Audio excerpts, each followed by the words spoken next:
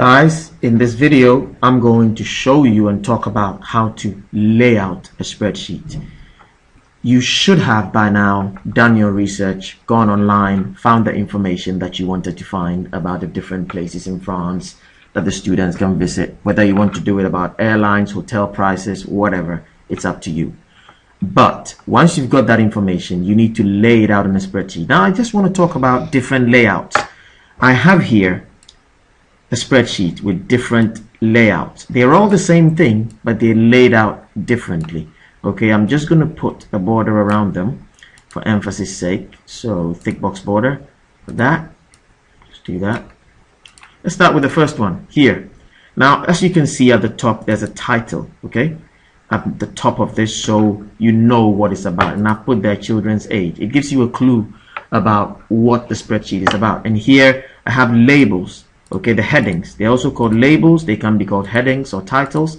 But they basically tell you what is what information is underneath. And it's very important okay? Boys does not really say much. I could have put in boy's name okay? And I could have put here boy's age. It could make people understand better what I'm talking about. But then that would be wrong because I've got Lucy here as well. So that is actually a mistake. You can't say boys when you have Lucy unless Lucy is a boy, of course, which I doubt. But the whole point is this. A spreadsheet must be laid out, laid out properly. You must have a title, okay?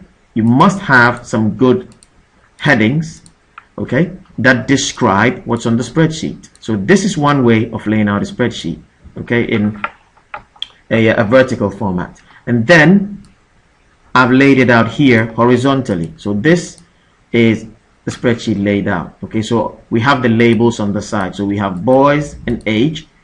Then we have John, Bob, and Lucy. Once again, this is a good title for the spreadsheet, but these labels here or headings are not right because Lucy is obviously not a boy. So I, you should really think about, you know, the titles you use and is the title suitable?